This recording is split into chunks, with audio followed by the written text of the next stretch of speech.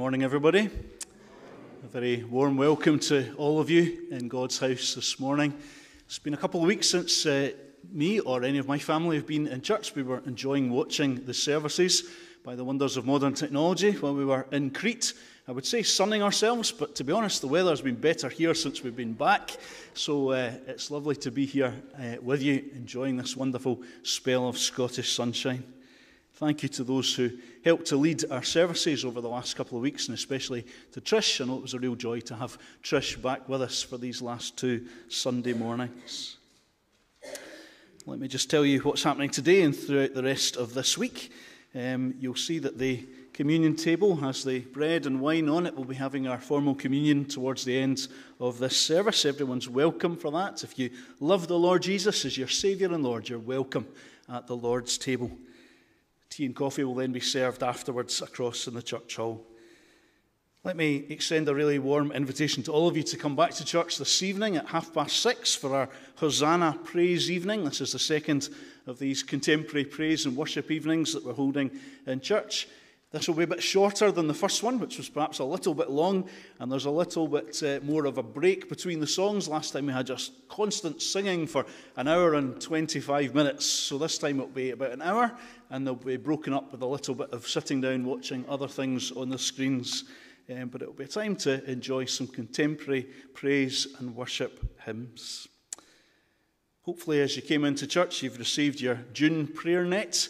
Uh, please do make use of this, and thanks so much to Alan for all the work that goes into preparing this and to everybody else who contributes to it. During the course of the week, we have the Oasis group on Tuesday in the hall, Campbell Wednesday morning, first thing, and then the community hub the rest of Wednesday. And then on Thursday at 7 o'clock, our Explore the Bible series looking at Revelation 2 and 3. We'll be meeting again. Everybody's welcome to that. And then you'll see at the bottom the uh, appeal for help for the Gala Day teas. Um, anybody who would like to help with baking or serving, please speak to either Angela or Anne Jeffrey.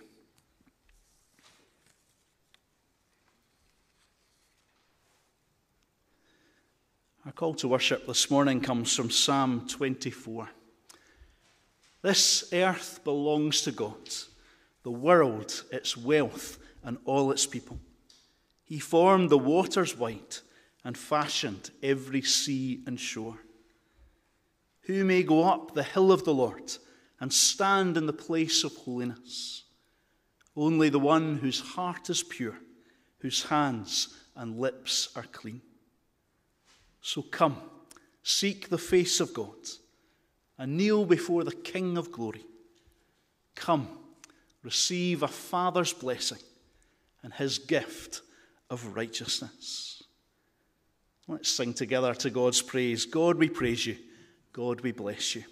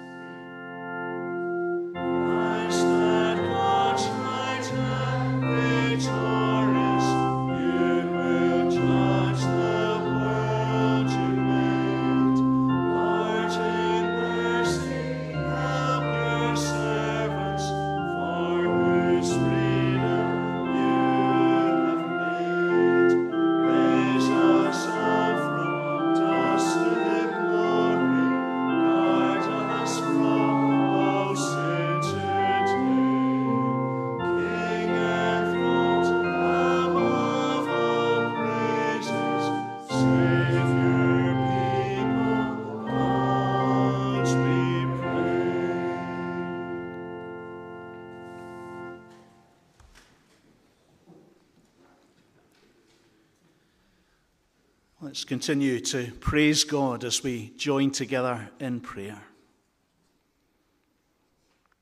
God eternal, King of glory, robed in majesty and clothed in splendor, we bow before your throne and we acknowledge that you are the Lord of heaven and earth, the creator of all things, seen and unseen, the only true and living God. The whole earth belongs to you, the world, its wealth, and all its people. And we belong to you, for you formed us out of the dust, and you breathed life into our lungs, and you gave us the privilege and joy of living in this wonderful world as tenants and stewards of your good creation. How we thank you for making us in your image, to be like you, and to know you as our God. And for the freedom to choose how to live and how to respond to your love. But Father, we confess that just like our ancestors before us, we have so often made the wrong choice. We have spurned your love, and we have worn the crown that we should have cast at your feet. In the knowledge of your mercy and grace and your unfailing covenant faithfulness, we come asking for your forgiveness and for the healing of our hearts. We come asking for wisdom to walk along the path of righteousness and for Holy Spirit power to resist what is evil and to choose only what is good and right and pleasing in your sight.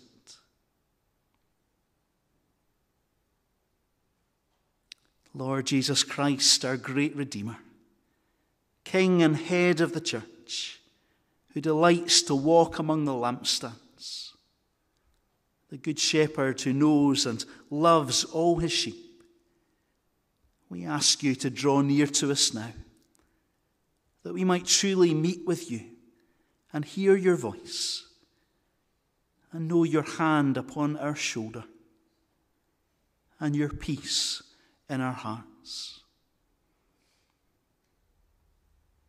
And as we sing praise to our God, and as we lift high the name of the Lord, we pray that our worship may bring joy in the courts of heaven and be a great witness to the people in our community, a witness to the glory and the grace of our God. For we ask in Jesus' name. Amen.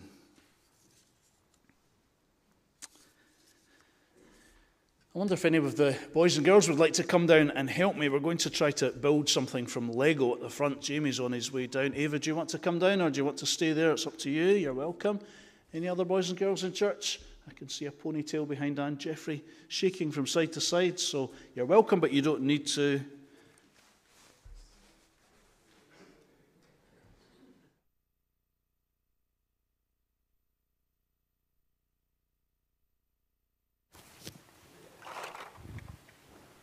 So let's uh, come up to this bit. How are you, Eva? Good. You're okay, aren't you, Jamie? Yes. So, I had a go at working, uh, trying to build a Lego house this morning, and it's uh, not gone very well because this is all I've done. And it keeps falling apart. It's not very good. Well, there's another bit joined on. That's not supposed to be there. But that's my kind of uh, starting point for my house. So can you guys have a wee go at just sort of um, building a house and making it a bit better than mine? I did try to put a cornerstone in, but it's still not joining it very well together. But you can uh, have a go at just adding some Lego and work together as a team there. And while you're doing that, I'm going to have a wee chat about building a house because what we're going to be thinking about in church today and over the next few weeks is how God is building a house and how God is looking for stones to build his house. Maybe you could give me the next picture on the, uh, on the screen there. God is looking not for Lego bricks or even for real bricks or stones for a quarry. God is looking for living stones to build his church with. Do either of you know who these living stones might be? Us, you're right. Ah, us. Look around. Every single one of us here, we are the living stones that God is using to build his church. It says in 1 Peter 2 You also, like living stones, are being built into a spiritual house to be a holy priesthood, offering spiritual sacrifices acceptable to God through Jesus Christ.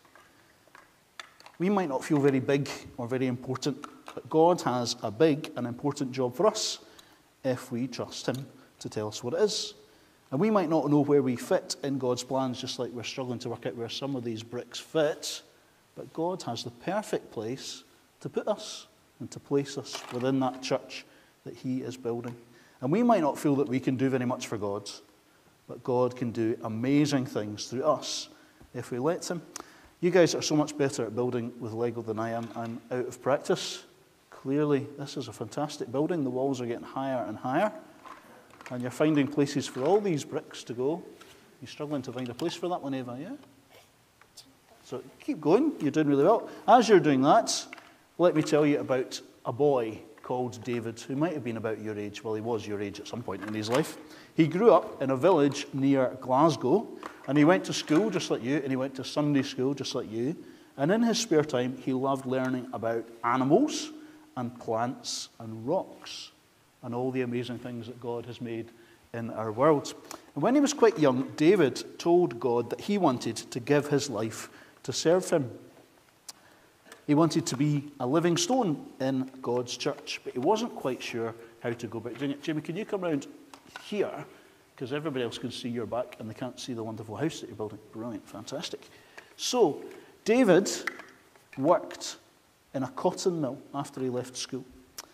And while he was working, he heard an appeal for Christian missionaries to go to China to serve God there, to train as doctors, and then to go to China and to help the people medically, and also to share the good news of Jesus. And so David thought, that's what I want to do with my life. That's what God's calling me to do and so, for the next few years, as well as working in the mill, he trained to be a medical doctor and he did theology all at the same time so that he could go and be a Christian missionary in China. But you know, while he, when he finally finished his training so that he could go to China, it wasn't safe for him to go to China. So you kind of think that was all a waste of time. But it wasn't, because instead of going to China, David went to Africa instead. And he spent the rest of his life in Africa as a missionary, telling people in Africa about Jesus and exploring God's wonderful creation, because Africa, as we know, is a beautiful continent, and he got to explore all of Africa. And he helped the people in lots and lots of different ways, particularly as a medical doctor. And if you go to Africa today and you go to Keith Anida's house in Mwande, and you drive two hours from Mwande, there's a city near the Victoria Falls, which is named after him. And you'll see it there circled in red at the bottom. It's really small print. Can you guys have a wee look at the screen up there? Do you see that red circle at the bottom? That's a place in Africa on the map. And can you see what it's called, Eva? Can you see, read what, what it says? Livingstone. Livingstone. Because David's full name was David Livingstone. David Livingstone. And you'll see just a wee bit to the right on the map a place called Harare in Zimbabwe. And some of our newest members of the church used to live in Harare before they came to live here in Scotland. It's great to have you here with us. So see how it all connects together. What a small world it really is. So there, David Livingstone, Livingstone, the city named after him. We don't all have the surname Livingstone, every single one of us in church, from the youngest to the oldest. We are all living stones in the church that God is building. And that is the best thing that any of us can ever be. This house is getting fantastic. Brilliant. We're going to sing our next song, which is called For I'm Building a People of Power. And I think we'll sing this twice through. Well done, guys. It's really good.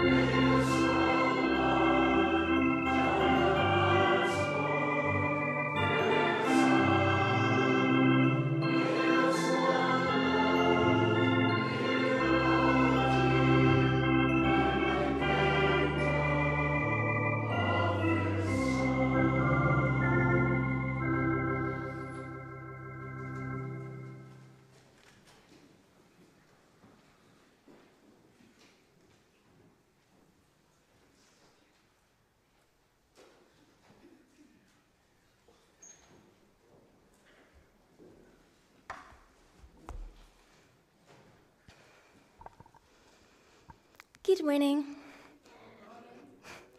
Our Bible reading today is from the book of 1 Kings, starting at chapter 4, verse 34, and then reading all of chapter 5. From all nations, people came to listen to Solomon's wisdom, sent by all the kings of the world who had heard of his wisdom. When Hiram, king of Tyre, heard that Solomon had been anointed king to succeed his father David, he sent his envoys to Solomon because he had always been on friendly terms with David. Solomon sent back this message to Hiram You know that because of the wars waged against my father David from all sides, he could not build a temple for the name of the Lord his God until the Lord put his enemies under his feet. But now the Lord my God has given me rest on every side, and there is no adversary or disaster. I intend, therefore, to build a temple for the name of the Lord my God, as the Lord told my father David when he said, Your son, whom I will put on the throne in your place, will build a temple for my name. So give orders that cedars of Lebanon be cut for me. My men will work with yours, and I will pay you for your men whatever wages you set. You know that we have no one so skilled in felling timber as the Sidonians. When Hiram heard Solomon's message, he was greatly pleased and said, Praise be to the Lord today, for he has given David a wise son to rule over this great nation. So Hiram sent word to Solomon I have received the message you sent me and will do all you want in providing the cedar and juniper logs. My men will haul them down from Lebanon to the Mediterranean Sea, and I will float them as rafts by sea to the place you specify. There I will separate them, and you can take them away. And you are to grant my wish by providing food for my royal household. In this way, Hiram kept Solomon supplied with all the cedar and juniper logs he wanted and Solomon gave Hiram 20,000 cors of wheat as food for his household, in addition to 20,000 baths of pressed olive oil. Solomon continued to do this for Hiram year after year. The Lord gave Solomon wisdom just as he had promised him. There were peaceful relations between Hiram and Solomon, and the two of them made a treaty. King Solomon conscripted laborers from all Israel, 30,000 men. He sent them off to Lebanon in shifts of 10,000 a month so that they spent one month in Lebanon and two months at home. Adoniram was in charge of the forced labor. Solomon had 70,000 carriers and 80,000 stonecutters in the hills, as well as 3,300 foremen who supervised the project and directed the workers. At the king's command, they removed from the quarry large blocks of high grade stone to provide a foundation of dressed stone for the temple. The craftsmen of Solomon and Hiram and workers from Byblos cut and prepared the timber and stone for the building of the temple. Amen.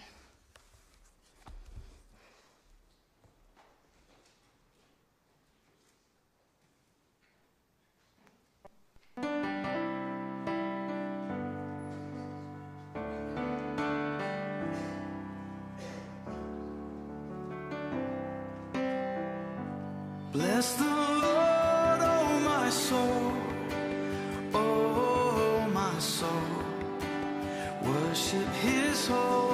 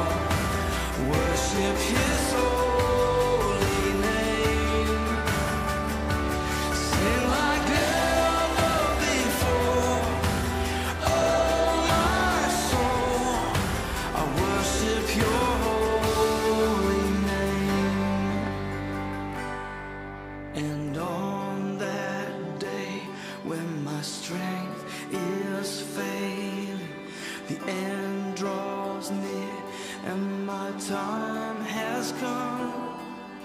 Still, my soul will sing your praise unending. Ten thousand years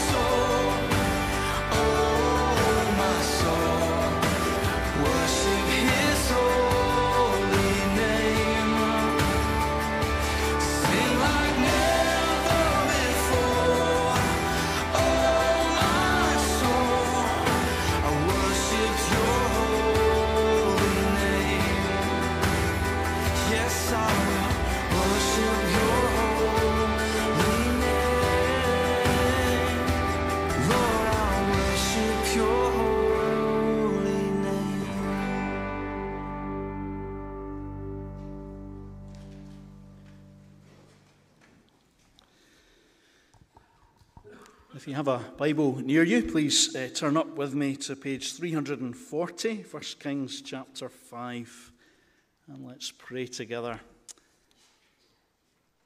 All scripture is God breathed and is useful for teaching, rebuking, correcting, and training in righteousness, so that the people of God may be thoroughly equipped for every good work. Lord, as we study your word, we ask you to speak to us and help us to apply these lessons in our lives today. Amen.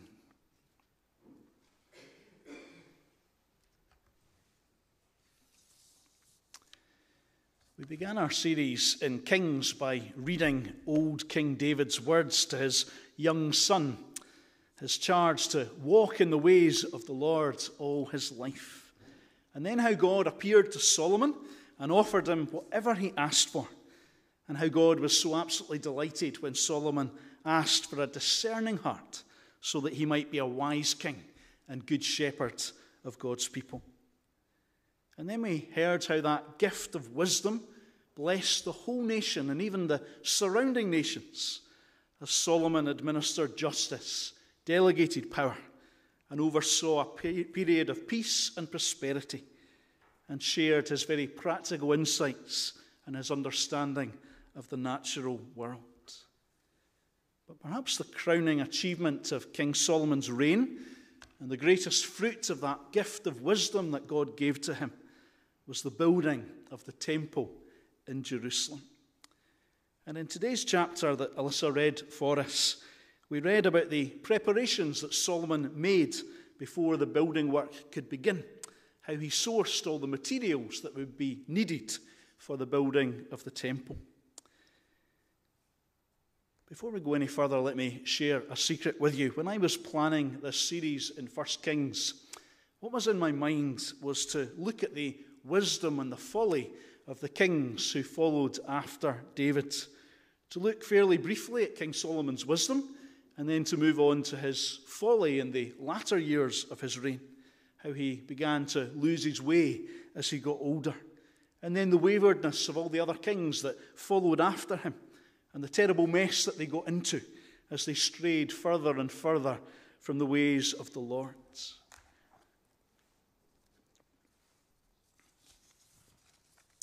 And then I was planning for us to come fairly quickly to the prophet Elijah, who challenged the wickedness and the idolatry of King Ahab and Queen Jezebel and so many of the people of Israel at that time.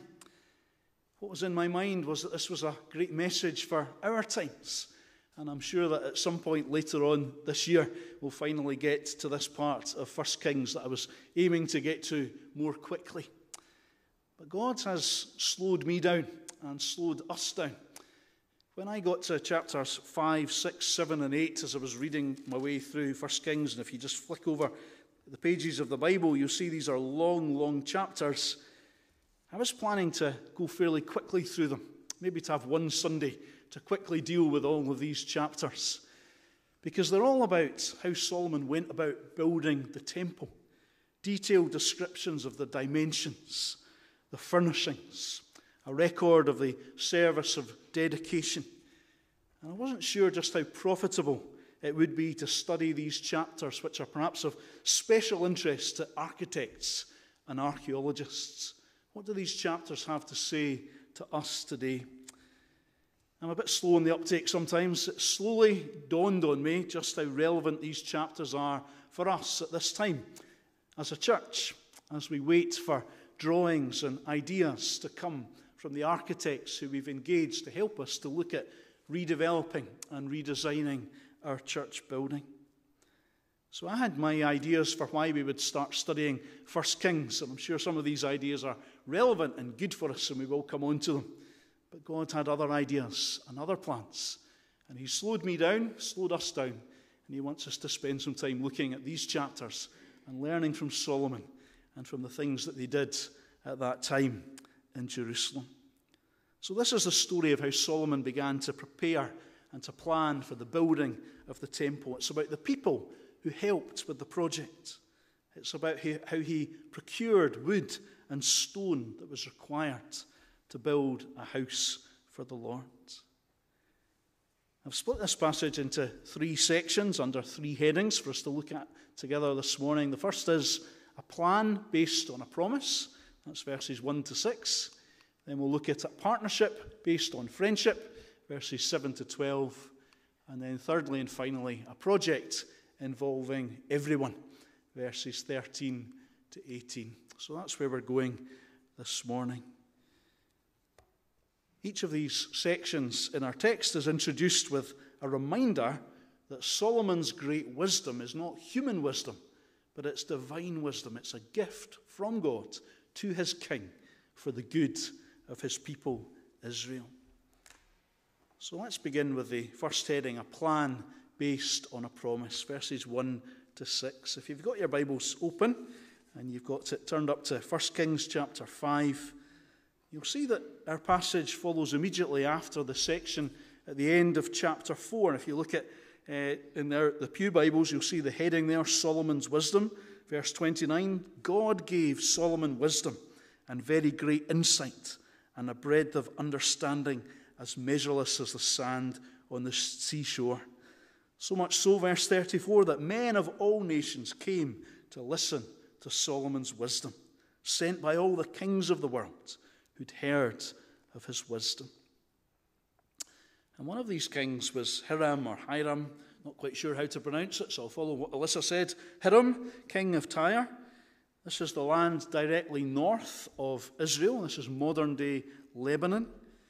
And when his envoys come bringing greetings to Solomon, Solomon wasted no time at all in sending back a message asking the king for his help in building his temple.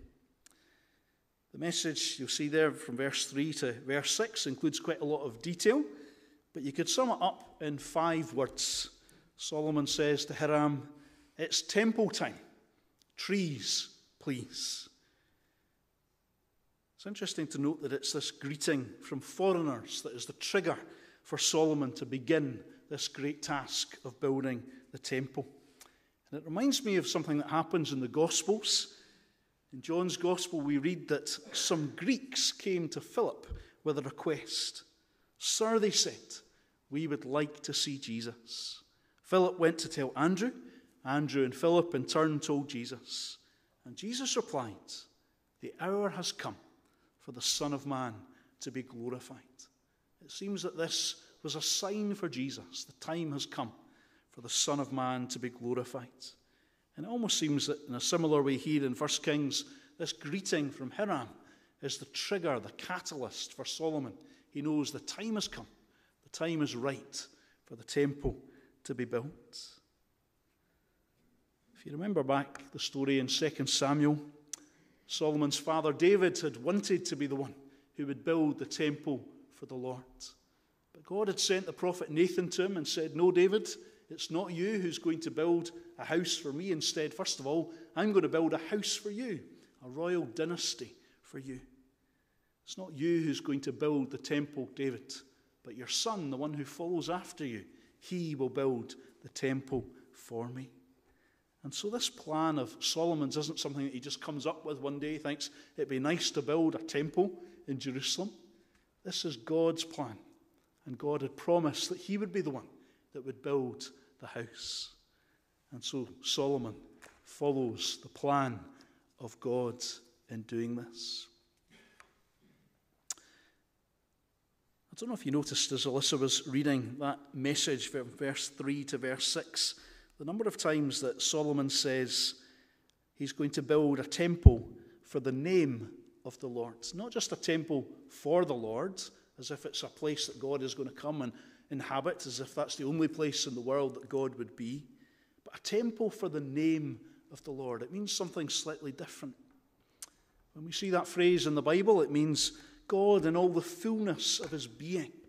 God as he revealed himself to Moses, Yahweh, the great I am God, the God who was and is and is to come, the God who is full of grace and compassion, who is slow to anger, abounding in love and faithfulness, the God who delights to forgive our sins, but who ultimately will judge those who reject him. This glorious and gracious God is the one for whom Solomon will build a house. A house not for him to inhabit, as it were, as his only dwelling house, but a meeting place for his people, a symbol of his presence amongst the Israelites, a symbol of God's power and his love for all nations. So notice that Solomon is keen to get on with the work that God has given him to do. The time is right to begin building the temple because Verse 4 The Lord my God has given me rest on every side. There is no adversary or disaster. Peace has come. There are no more uh, enemies to fight against.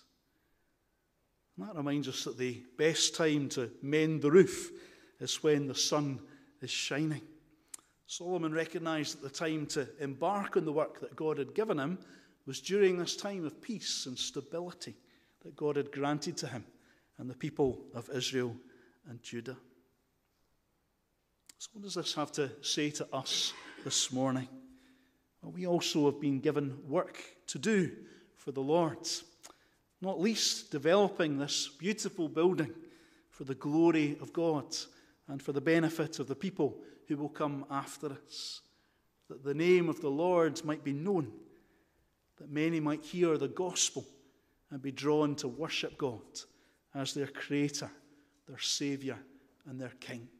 That is our motivation in everything that we do as a church, all our activities and all our projects and building work that we plan to do. It is for the glory of God, it is for His name to be made known to those living around us. And the time is now. There are enough of us here committed to the Lord to complete the work, to do this building work that God has given us to do. The COVID pandemic is now behind us. Our presbytery mission plan indicates that presbytery sees a future for our church here in Cambusbarron and for our buildings here and across the road. So let's seize the moment and let's not put off until tomorrow the work that we've been given to do today. Our second heading is a partnership based on friendship, verses 7 to 12. The second section begins again with a reminder that Solomon's great wisdom is a gift from God. Look at verse 7. When Hiram heard Solomon's message, he was greatly pleased and said, Praise be to the Lord today, for he has given David a wise son to rule over this great nation. Back at the beginning of the chapter, we discover that Hiram had always been on friendly terms with King David, and he's delighted that David's son is intent in following in David's footsteps and serving David's God. Not least because this means that Solomon has no plans to invade the nations around Israel, including his own land and his own kingdom of Tyre. And so Hiram, or Hiram, responds favourably to Solomon's request to cut down the cedars of Lebanon for the building of the temple, some of the greatest and most beautiful trees in the world. In fact, he goes above and beyond what Solomon asks for. In verses 8 and 9, we read that he agrees not just to fell the timber, but to transport it by land and sea to whatever port Solomon determines will be closest to Jerusalem and easiest to transport the timber so that the temple can be built. And then we see Solomon responding in kind. He's already offered to pay the wages of the Sidonian lumberjacks. And when Hiram asks him to provide food for his royal household, he's incredibly generous in what he sends north uh, to give to Hiram. All those cors of wheat and baths of olive oil. And not just a one off gift, but year after year.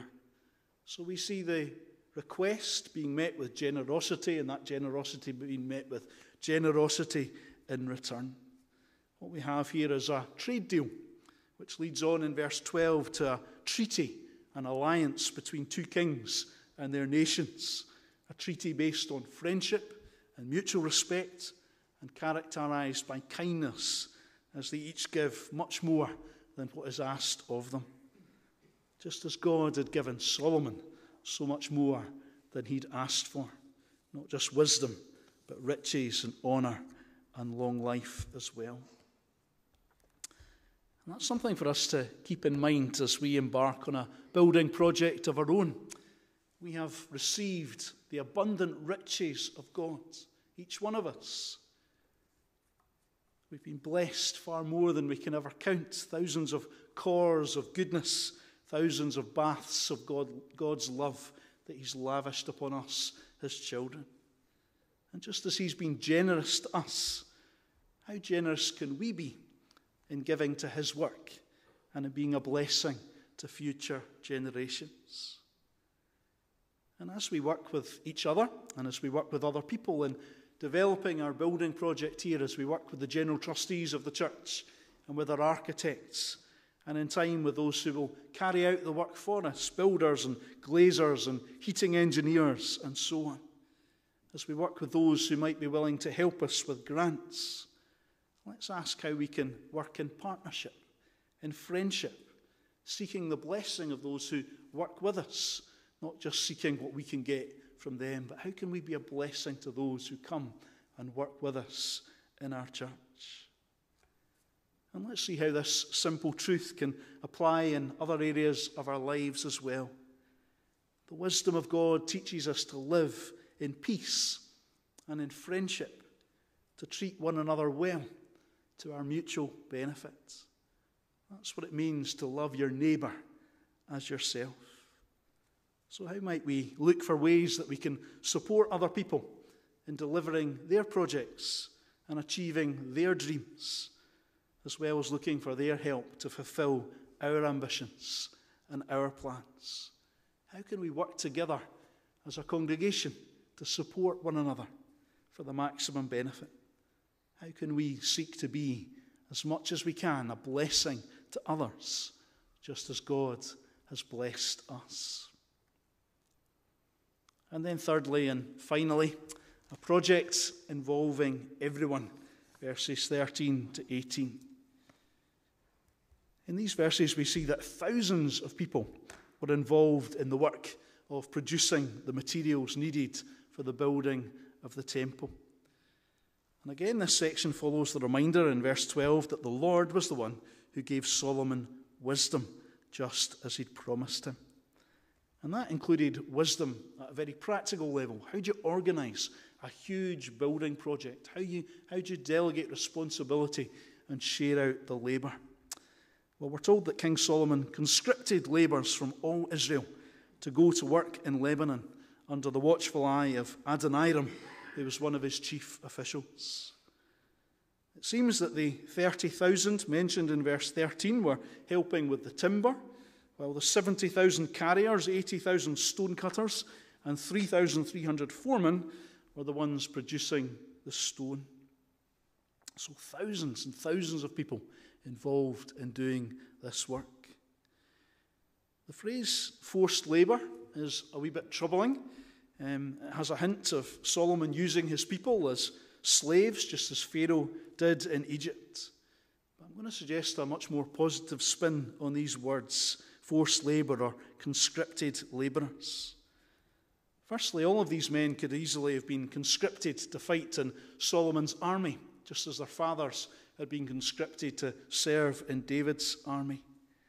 But they're living in a time of peace, a wonderful time, when they each live in their own home under their own vine and fig tree. And so instead of risking their lives in warfare, their king instead requires them to help him build the temple of their God. Some of them might have complained about being conscripted, but others no doubt saw it as a great privilege and honour.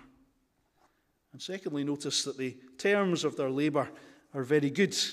They work a shift pattern of one month on and then two months off on holiday, which suggests that they either had an excellent trade union or a very generous employer. Thanks to the wisdom given to him by God, Solomon worked out the best way to organize things so that everyone's gifts were used. Those with strong arms were asked to be carriers, those with skilled hands were asked to cut the stone, and those with good brains were asked to organize and direct the work. And in the same way, here today, we have the opportunity to help build the church of God in the heart of our village and to be a beacon of light in our community. And it's not just a work for one or two or three or four or for the elders to take on. This is a work that involves every single one of us. We all have our part to play to do all that we can with the particular gifts and skill sets that we've been given by God. Each of us is to be a living stone in that spiritual house that God is building. Each of us willingly and gladly working together for the glory of our God.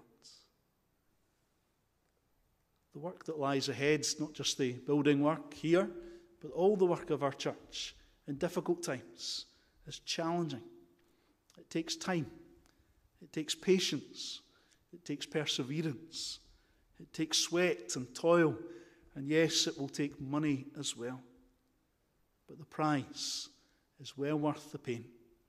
We have been called to live for the glory of God and to be a church that glorifies the name of the Lord. So, as we come to the Lord's table, let's sing our song that joins these two things together. Let us build a house where love can dwell.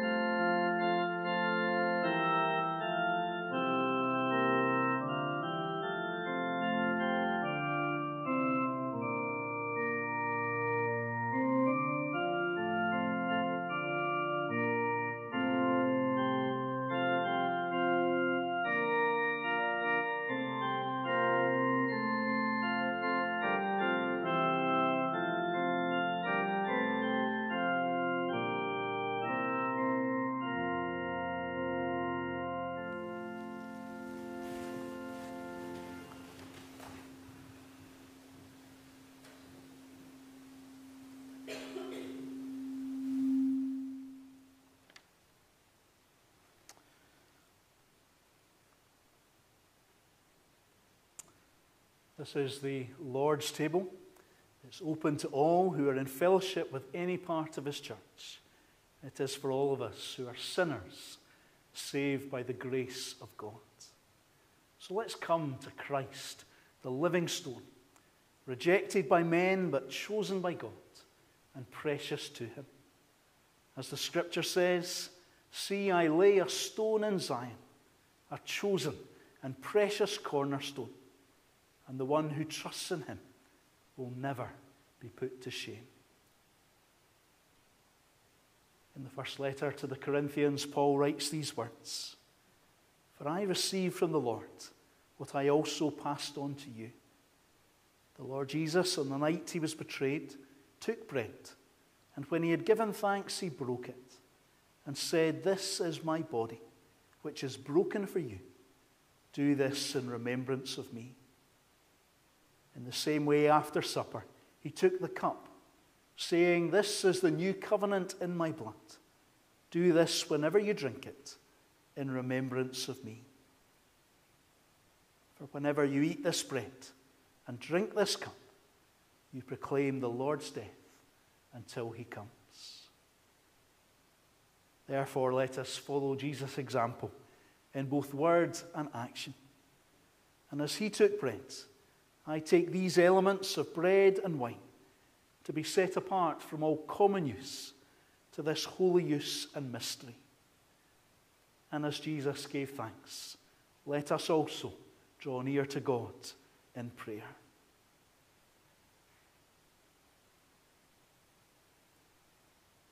It is indeed right. It is our duty and our joy at all times and in all places to give you thanks and praise, Holy Father, Heavenly King, Almighty and eternal God, for the majesty of your glory, for the wonder of your works, for the riches of your grace.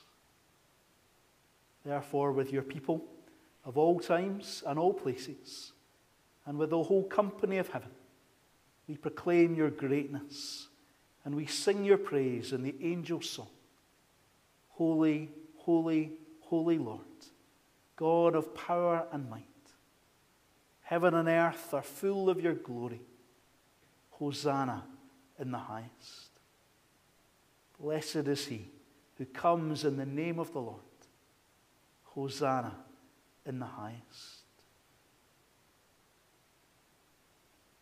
We bless you for Jesus' holy birth, his perfect life on earth, his suffering for us, and his triumph over death, his ascension to your right hand, and his gift of the Holy Spirit, and for the promise of his coming again.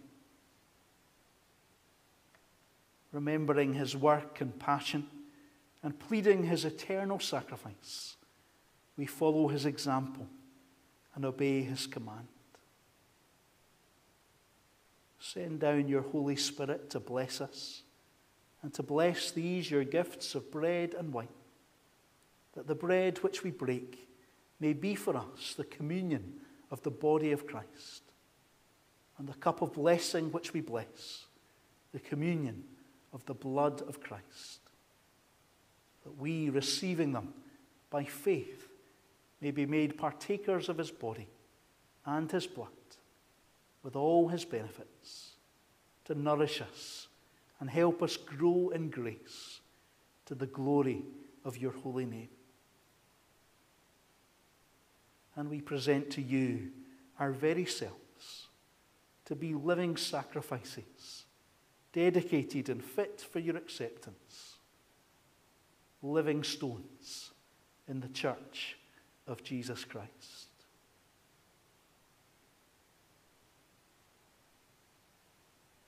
Remember, O Lord, your holy church throughout the world and reveal your glory among the nations. Save your people and bless those who belong to you. Shepherd them and carry them forever. Remember, O Lord, our families and our friends and surround them with your steadfast love. Remember, O Lord, those who are sick, those who suffer pain or loneliness or grief, those who draw near to death, and those who we name in our hearts before you now.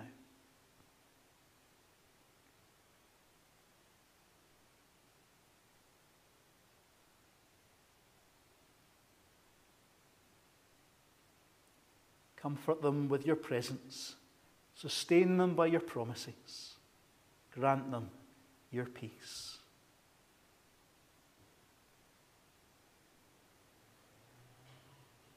Rejoicing in the communion of the saints, we remember with thanksgiving all your faithful servants and those dear to us who serve you now in the glory of heaven.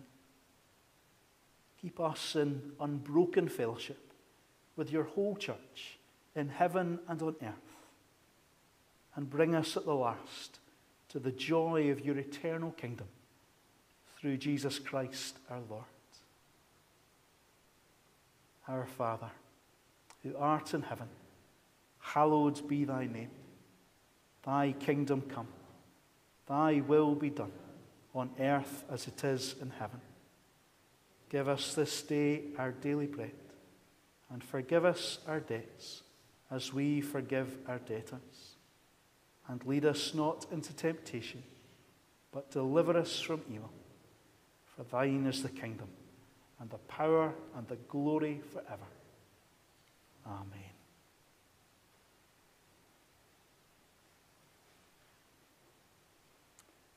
And so, according to the institution, example, and command of our Lord Jesus Christ, and as a memorial of him, we do this. Who, on the night when he was betrayed, took bread, and when he had given thanks, he broke it and said, This is my body, which is broken for you. Do this in remembrance of me. And in the same way, he took the cup, saying, This cup is the new covenant, sealed in my blood. Do this whenever you drink it in remembrance of me.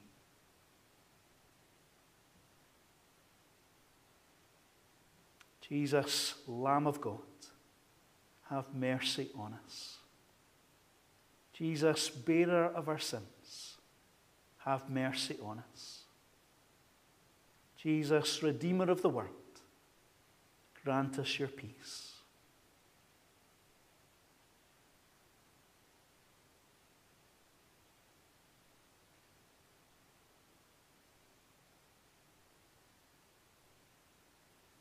And now taste and see that the Lord is good. Blessed are those who find refuge in him.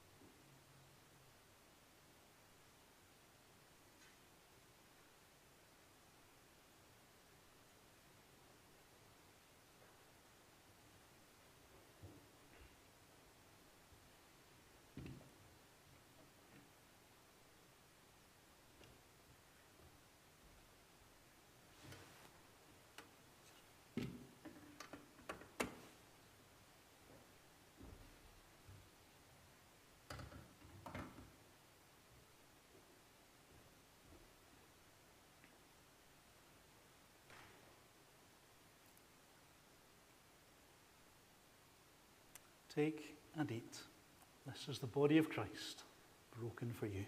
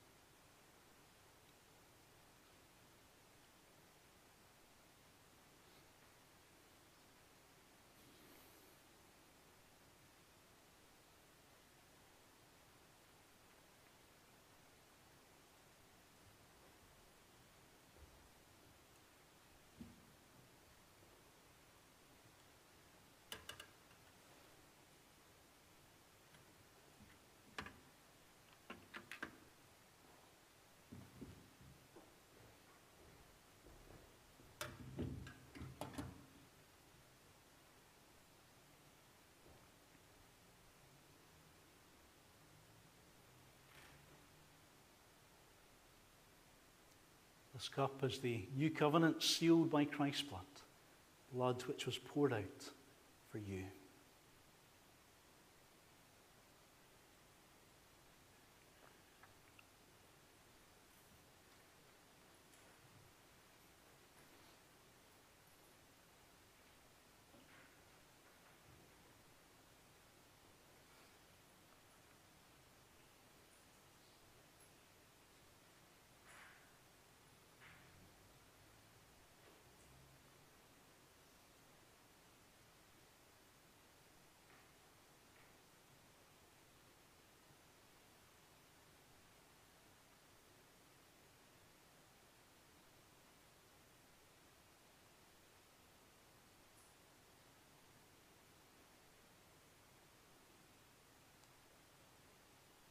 Peace of the Lord Jesus Christ be with us all. Let's pray together. Gracious God, we give you glory, thanks, and praise for the dying and undying love of our Saviour Jesus Christ. In your great goodness, you have brought us into communion with him and with all who have loved him. And you have made us heirs of your everlasting kingdom. By your grace, may we continue in this holy fellowship and live to the glory of your name through Jesus Christ our Lord. Amen. Let's sing together as we close our service of worship. Ye servants of God, your master proclaim.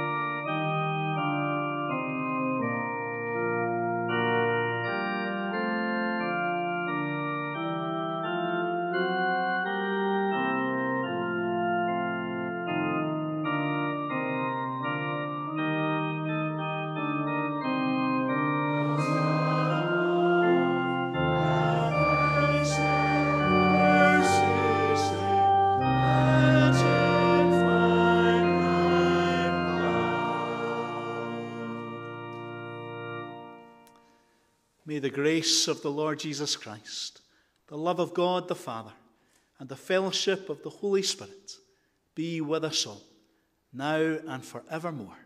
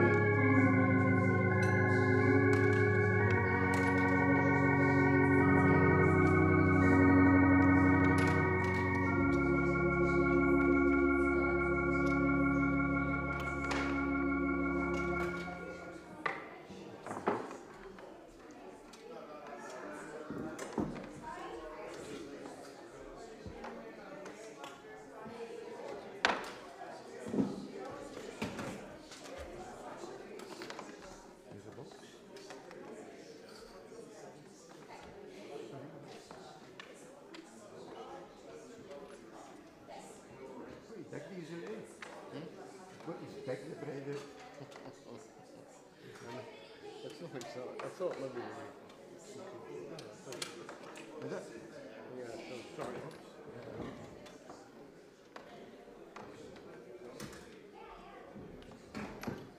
I was doing this last night was bread. Then I picked up the wine and I did the same thing. I was like, oh, thank you.